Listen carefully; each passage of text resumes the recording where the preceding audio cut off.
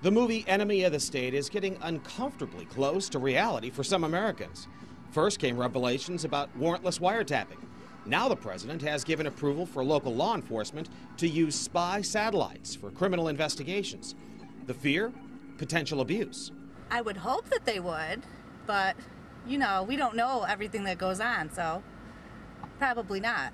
Civil liberty groups fear the government is crossing the line by using military tools against American civilians. But police want it to be known that they do believe in civil rights for Americans and they will follow any kind of regulations or stipulations when it comes to using this spy equipment on Americans. We always want to make sure that we're doing things on the up and up. As depicted in the movie 1984, any encroachment on Americans' privacy leads some to fear an Orwellian state where the government will eventually know your every move. But retired Air Force three star general and Vietnam War planner Howard Fish supports using spy satellites here at home. Oh, great.